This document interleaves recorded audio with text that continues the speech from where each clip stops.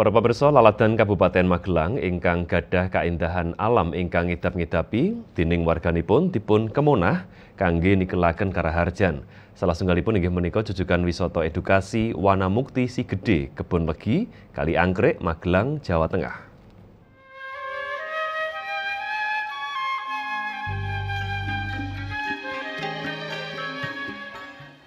Setunggal malih jujukan wisata ingkang dumunung ing perenging Redi Sumbing Magelang ingkang kalebet tasih enggal sarta pantes dipun tuweni inggih menika wisata edukasi Wonomukti ingkang dumunung ing Desa Kebon Legi Kecamatan Kaliangkrik Kabupaten Magelang.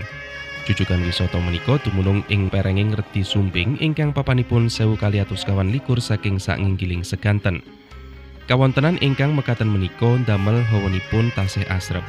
Ing papan menika para pelancong badhe dipun segai sesawangan alam ingkang indah ing satunggaling puteran utawi 360 derajat.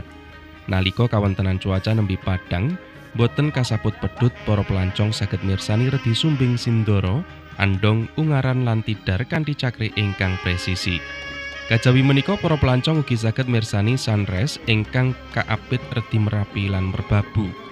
Ing wanci dalu, para pelancong badhe dipun segai kaendahaning lampu ing kitha Magelang sarta kerlap-kerliping lampu ing laladan Ngayogyakarta. Salah setunggaling srana wisata ingkang narik kawigatosaning para pelancong nalika ngindangi wisata Wonomukti inggih menika wontenipun gardu pandang ingkang kadamel kanthi cakrik setengah lingkaran kanthi inggil 6 meteran. Wontenipun gardu pandang ingkang dipun bangun ing saknginggiling sewu kaliatus saking saknginggiling seganten menika Para pelancong saged mirsani sesawangan alam sarta lahan tetanen ingkang ijo royo-royo 300 derajat. Kepala Desa Kebon Legi Daslan Prasetyo mratelaken bilih jujukan wisata menika dipun bika ing purwakaning wulan Februari taun 2021. Mila bikanipun dipun bangun jujukan wisata Wonomukti Si Gude menika kawiwitan saking kathahing komunitas pit motor ingkang dumados para wiranem ingkang asring ngadani krida kanthi swapoto ing sak pinggiring mergi.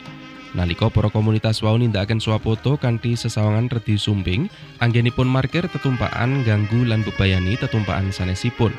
Nguningani papanipun ingkang metok sanget lan dados mergi alternatif nalika pelancong ngindangi wisata manglis kewai menapa dene silancur saklajengipun warga masyarakat sinengkuyung pemerintah desa gadah odo-odo mbangun wontenipun gardu pandang lan jujukan wisata ingkang salajengipun dipun sukani nomo wisata edukasi Wana Mukti Si Gede. Medal uh, kepengker menika bilih mergi akses jalan ingkang saking niki kebon legi Mangli ingkang langsung uh, menuju Mangli menika rumiyin damel spot foto wonten komunitas kendaraan itu yang lama misalipun wonten dipun damel spot foto wonten mergi damel foto prewedding wonten pentas seni itu tapi di jalan raya.